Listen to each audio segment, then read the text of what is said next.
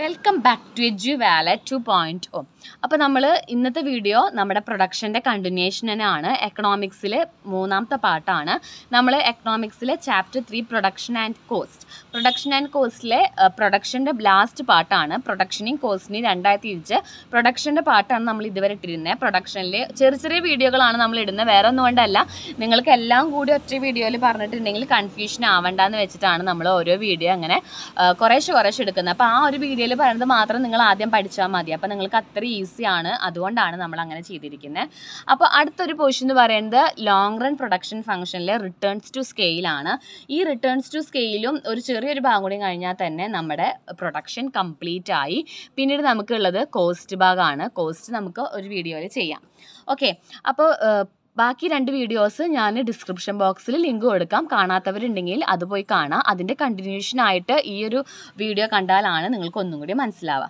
Okay ഇനിയാണ് അടുത്തൊരു portion നമ്മൾ ലോ ഓഫ് വാരിയബിൾ പ്രപ്പോർഷൻ പറഞ്ഞു കഴിഞ്ഞു. എന്താണ് ലോ ഓഫ് വാരിയബിൾ പ്രപ്പോർഷൻ എന്ന്. അതേപോലെ തന്നെ വേറൊരു ലോങ് റൺ പ്രൊഡക്ഷൻ ഫംഗ്ഷനാണ് ഇത് ലോങ് റൺ പ്രൊഡക്ഷൻ ഫംഗ്ഷൻ ഫംഗ്ഷനാണ് ആ ലോങ് റണ്ണിലെ പ്രൊഡക്ഷൻ ഫംഗ്ഷനെ വിളിക്കുന്ന ആ ഒരു പേരാണ് റിട്ടേൺസ് ടു എസ് സ്കെയിൽ എന്ന് പറയുന്നത്. ഓക്കെ അവിടെ വേരിയബിൾ പ്രപ്പോർഷൻ എന്നാണ് വെച്ചെങ്കിൽ നമ്മൾ ഇവിടെ വിളിക്കുന്ന പേര് അതിനെ റിട്ടേൺസ് ടു സ്കെയിൽ എന്നാണ് റിട്ടേൺസ് ടു എ സ്കെയിൽ അവിടെ നമ്മൾ മൂന്ന് സ്റ്റേജിന് returns to a factor increasing returns to factor diminishing returns to factor എന്നൊക്കെയാണ് വിളിച്ചിരുന്നത് ഇവിടെ റിട്ടേൺസ് ടു സ്കെയിലാണ് അപ്പോൾ ഈ ഒരു ലോങ് റണ്ണിന്റെ ഈ ഒരു പ്രൊഡക്ഷൻ ഭാഗം കൂടി കഴിഞ്ഞാൽ നമ്മുടെ പ്രൊഡക്ഷൻ കംപ്ലീറ്റ് ആയി. ഓക്കെ അപ്പോൾ എന്താണ് റിട്ടേൺസ് ടു സ്കെയിൽ നമുക്ക് നോക്കാം. മെയിനായിട്ട് ഇത് ലോങ് റൺ പ്രൊഡക്ഷൻ ആണ്. ഇവിടെ എല്ലാ ഇൻപുട്സും വേരിയബിൾ ആണ്. ഫിക്സ്ഡ് പ്രൊപ്പോർഷൻ ആണ് ഈ ഒരു പ്രൊഡക്ഷൻ ഫംഗ്ഷനിലുള്ളത് അപ്പോൾ നമുക്ക് അതിന്റെ ഡെഫിനീഷൻ ഒന്ന് ആദ്യം പഠിക്കാം. Returns to a scale refers to a change in output when all inputs are variable and the proportion between inputs remain constant അതായത് ഇൻപുട്ടിന്റെ പ്രൊപ്പോർഷൻ നമ്മൾ കോൺസ്റ്റന്റായി നിർത്തുക. എന്നിട്ട് അതിന്റെ ഔട്ട്പുട്ട് എന്തായിരിക്കും? ഒരു പ്രൊപ്പോർഷൻ ചേഞ്ച് എന്തായാലും ഔട്ട്പുട്ടിൽ വരുന്നതാണ്.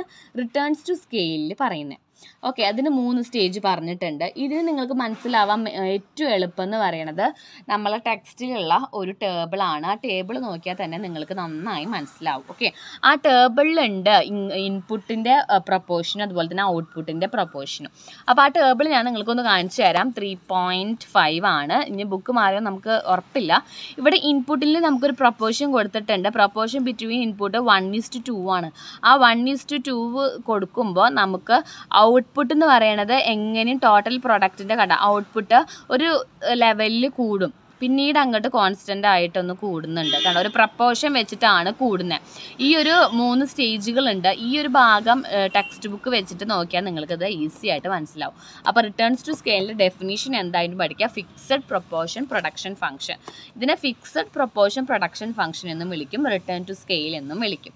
ഓക്കെ അപ്പോൾ ഇതിനും നമുക്ക് എന്തുണ്ട്? അന്ന് പറഞ്ഞതുപോലെ തന്നെ നമുക്ക് മൂന്ന് സ്റ്റേജ് പറഞ്ഞിട്ടുണ്ടായിരുന്നു നമ്മൾ ലോ ഓഫ് വാരിയബിൾ പ്രൊപ്പോർഷൻ ഫംഗ്ഷന് ഇവിടെ നമുക്ക് മൂന്ന് സ്റ്റേജിനുണ്ട് ആ മൂന്ന് സ്റ്റേജിന് പറയുന്നത് വേണം I R S C R S and D R S I R S എന്ന് പറയുമ്പോൾ ഇൻക്രീസിംഗ് ആണ്.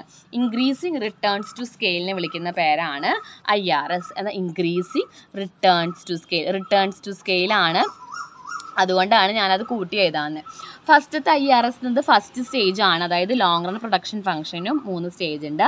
ഐ ആർ എസ് എന്ന് പറയുമ്പോൾ ഫസ്റ്റ് സ്റ്റേജ് ആണ്. ഇവിടെ more than proportionate change in output അതായത് നമ്മളിപ്പോൾ വൺ ഈസ് ടു ടൂവിൽ നമ്മൾ ഇൻപുട്ട് കൊടുക്കുമ്പോൾ നമുക്ക് ഔട്ട്പുട്ട് ഒരു ടു ഈസ് ടു ഫോറിൽ ഔട്ട്പുട്ട് കിട്ടുകയാണ്. എന്ന് വെച്ചാൽ എന്താ? നമ്മൾ കൊടുക്കുന്ന അളവിനേക്കാൾ ഇരട്ടി more than change in output ഇവിടെ നമുക്ക് ഇരട്ടി ആയിട്ട് ഔട്ട്പുട്ട് കിട്ടുക ആ ഒരു സ്റ്റേജ് ആ ഒരു സ്റ്റേജിനെയാണ് നമ്മൾ ഇൻക്രീസിങ് റിട്ടേൺസ് ടു സ്കെയിൽ എന്ന് വിളിക്കുന്നത്. അവിടെ നമുക്ക് ചേഞ്ചസ് വളരെ ഹൈ ആണ്. എം പിയും എ പിയും നല്ല കൂടുതലാണ്. ഓക്കെ ഇനി കോൺസ്റ്റന്റ് സെക്കൻഡ് ഭാഗമാണ് സെക്കൻഡ് സ്റ്റേജാണ് അപ്പോൾ ഫസ്റ്റ് സ്റ്റേജ് എന്തായിരുന്നു?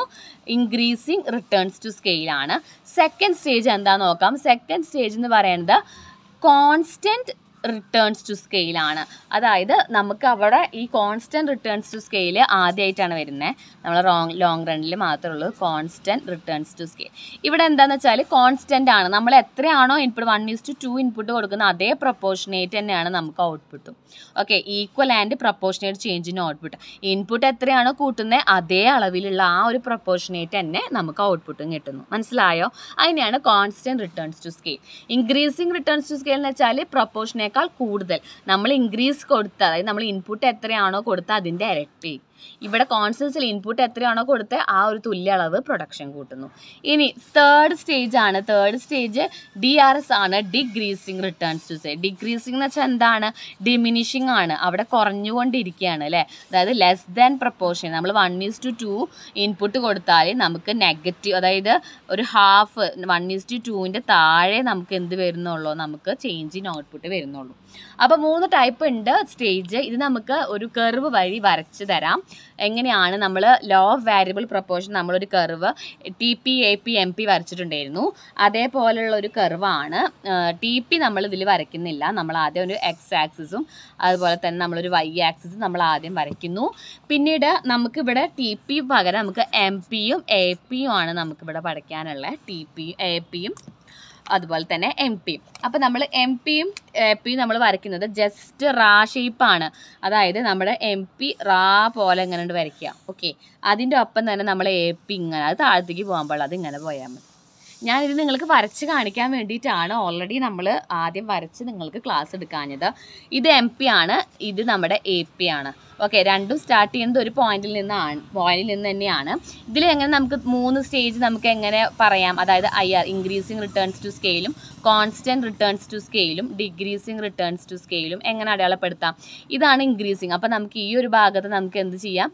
ഫസ്റ്റ് സ്റ്റേജിൽ നിന്ന് വിളിക്കാം. പിന്നെ ഈ ഒരു ഭാഗമുണ്ട് രണ്ടും കോൺസ്റ്റന്റ് ആണ് ഒപ്പം കൂട്ടിമുട്ടുന്നത്. ഈ ഒരു ഭാഗത്ത് എത്തുമ്പോൾ നമുക്ക് എന്താണ് ഇൻപുട്ട് കൊടുക്കുന്നതിന്റെ അനുസരിച്ച് നമുക്ക് ഔട്ട്പുട്ടും കൊടുക്കുന്നു. അല്ലേ? ഈ ഒരു സ്റ്റേജിൽ മൂന്നാമത്തെ സ്റ്റേജിൽ എന്താണ്? എ പിയും കുറഞ്ഞു അതുപോലെ എം പിയും കുറഞ്ഞു. രണ്ടും ഡിക്രീസിങ് ആണ്.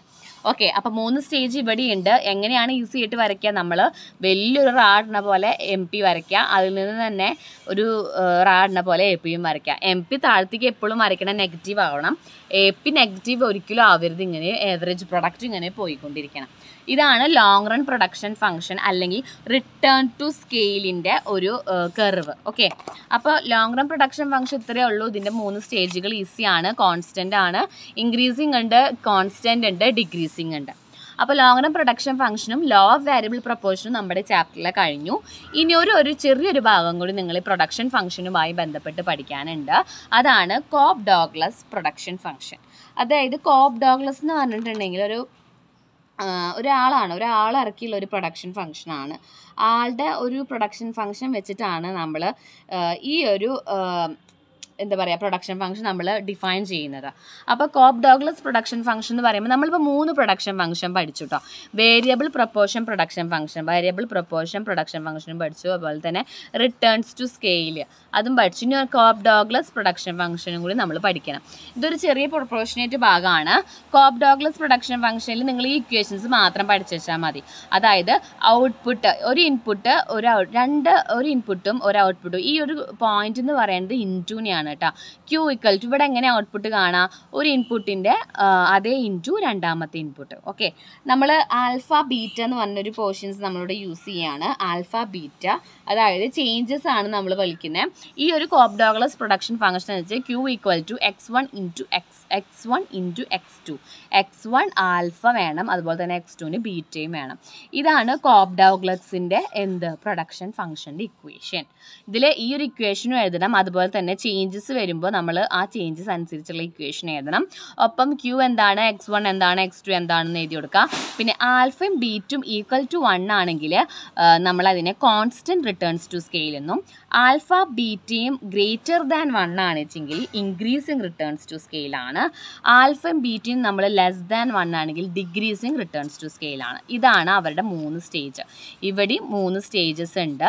സി ആർ എസ് എന്ന് പറയുമ്പോൾ കോൺസ്റ്റന്റ് ആണ്. Constant returns to scale I R S increasing returns to scale D R S decreasing returns to scale okay അപ്പോൾ കോപ്പ് ഡോഗ്ലസ് പ്രൊഡക്ഷൻ ഫംഗ്ഷൻ അനുസരിച്ചിട്ട് ആൽഫയുടെയും ബീറ്റയുടെയും വാല്യൂ അനുസരിച്ചിട്ടാണ് നമ്മൾ എന്ത് നോക്കുന്നത് പ്രൊഡക്ഷൻ ഫംഗ്ഷന്റെ സ്റ്റേജ് തീരുമാനിക്കുന്നത് ഈ ആൽഫയും ബീറ്റയും കൂട്ടി കിട്ടുന്നത് പോയിന്റ് വൺ വണ്ണിന് താഴെ അല്ലെങ്കിൽ വണ്ണിനേക്കാൾ കൂടുതൽ അതിനനുസരിച്ച് അല്ലെങ്കിൽ ഈക്വൽ ടു വൺ ഒക്കെ ആണെങ്കിലാണ് നമ്മൾ മൂന്ന് സ്റ്റേജുകൾ പറയുന്ന ആൽഫയും ബീറ്റയും യൂസ് ചെയ്തിട്ട്. ഇതിനാണ് കോപ്പ് ഡോഗ്ലസ് പ്രൊഡക്ഷൻ ഫംഗ്ഷൻ. ആ ഫംഗ്ഷൻ എഴുതുക ആൽഫയും ബീറ്റയും ആഡ് ചെയ്യുമ്പോൾ എങ്ങനെയാണ് മൂന്ന് സ്റ്റേജസ് കാണുന്നത് എഴുതാം. ഇത്ര എഴുതിയാൽ തന്നെ നിങ്ങൾക്ക് കോപ്പ് ഡോഗ്ലസ് പ്രൊഡക്ഷൻ ഫംഗ്ഷന്റെ മാർക്ക് കിട്ടും. ഓക്കെ അതായത് ഓരോരോ ഇൻപുട്ട് കൂടുന്നതിനനുസരിച്ചിട്ട് ഔട്ട്പുട്ട് ഒന്നുകിൽ ക്വാണ്ടിറ്റിയുടെ ഈക്വൽ ആയിരിക്കും. ടെക്സ്റ്റ് ബുക്കിലുണ്ട് അണ്ടർലൈൻ ചെയ്യുക പഠിക്കുക ഈ ഒരു പ്രൊഡക്ഷൻ ഫംഗ്ഷനും കൂടി നിങ്ങൾ മിസ് ചെയ്യരുത്. അതുകൊണ്ടാണ് ഞാൻ ഈ ഒരു ഫംഗ്ഷനും കൂടി നിങ്ങൾക്ക് ഇട്ടിരിക്കുന്നത് അപ്പോൾ ഈ മൂന്ന് ഫംഗ്ഷനും ഈ നമ്മുടെ ചാപ്റ്റർ വൈസ് കഴിഞ്ഞു. അതായത് പ്രൊഡക്ഷന്റെ ഭാഗം കംപ്ലീറ്റ് ആയി. മൂന്ന് പ്രൊഡക്ഷൻ ഫംഗ്ഷൻസ് നമ്മളിവിടെ പറഞ്ഞു കഴിഞ്ഞു. ഈ നെക്സ്റ്റ് വീഡിയോ എന്ന് പറയുന്നത് കോസ്റ്റിന്റെ പോർഷനാണ് അപ്പോൾ കോസ്റ്റിന്റെ പോർഷനിലേക്ക് പോകുന്നതിന് മുൻപ് നിങ്ങൾക്ക് ഈ വീഡിയോ ഇഷ്ടപ്പെട്ടു എന്ന് കരുതിയെങ്കിൽ നിങ്ങൾ ഷെയർ ചെയ്യുക സബ്സ്ക്രൈബ് ചെയ്യുക ലൈക്ക് ചെയ്യുക. മാക്സിമം സപ്പോർട്ട് ചെയ്യുക നിങ്ങളെ ഫ്രണ്ട്സിനൊക്കെ ഒന്ന് ഷെയർ ചെയ്ത് കൊടുക്കുക. പ്ലസ് വൺ ഇമ്പ്രൂവ്മെന്റ് കാരണം പഠിക്കാത്തത് മനസ്സിലാവാത്ത കുട്ടികളുണ്ടെങ്കിൽ പ്ലസ് ടു ക്ലാസ്സുകൾ മിസ്സായിട്ടുണ്ടെന്നെങ്കിൽ നിങ്ങൾ ഈ ഒരു ചാനൽ തീർച്ചയായിട്ടും സബ്സ്ക്രൈബ് ചെയ്യണം. നിങ്ങൾക്ക് കണ്ടിന്യൂസ് ആയിട്ട് ഇതിൽ നമ്മൾ വീഡിയോസ് ഇടുന്നതാണ്. നമ്മൾ എക്കണോമിക്സ് അക്കൗണ്ടൻസി ബിസിനസ് ഒക്കെ നമ്മൾ ഇടുന്നതാണ്. എക്സാം ടൈമിൽ നമ്മൾ ഒന്നും കൂടിയും കൂടുതൽ ഇമ്പോർട്ടൻസ് ഇടും.